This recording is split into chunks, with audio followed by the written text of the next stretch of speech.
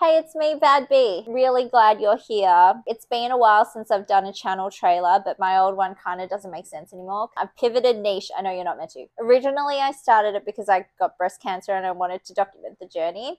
But now that's kind of over and I'm feeling super good about life. So I just want to document my expat life, living abroad vlog. I used to live in Japan, then I moved back to Australia, where I'm from. But now I'm moving overseas again. So I want to document my life in the Middle East, travel, food, fashion and beauty, bikes, because I ride motorbikes. This is a lifestyle vlog, post cancer thriver life.